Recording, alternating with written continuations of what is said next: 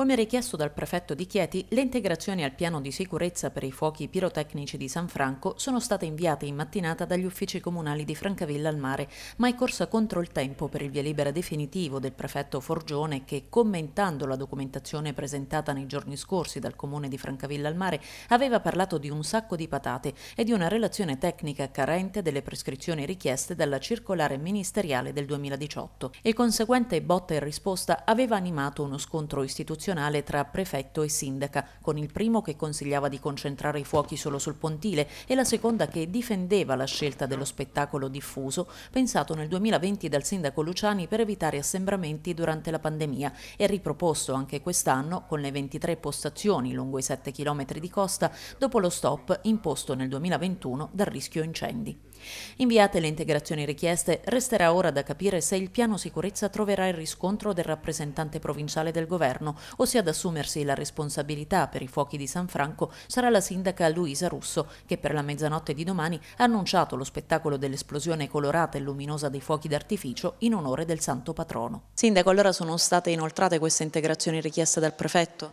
Sì, sono state inoltrate nella mattinata di oggi, avevamo ricevuto una nota del prefetto con alcune prescrizioni abbiamo provveduto a integrare il piano di sicurezza con delle ulteriori misure di sicurezza proprio nel rispetto della collaborazione tra istituzioni e anzi ringrazio per i suggerimenti che ci sono stati dati. La mia priorità è, così come quella delle altre istituzioni è la sicurezza dei cittadini e lo spettacolo si svolgerà in maniera diffusa su tutta la costa ma sempre nel rispetto di tutte le prescrizioni per tutelare la sicurezza e la pubblica incolumità. Questa formula diffusa piace molto alla città perché consente a tutte le attività commerciali e turistiche di lavorare senza creare particolari problemi di traffico e di assembramenti perché le persone si disperdono lungo tutto il territorio. I punti sono 23, abbiamo eliminato anche su prescrizione della Capitaneria il punto previsto al porto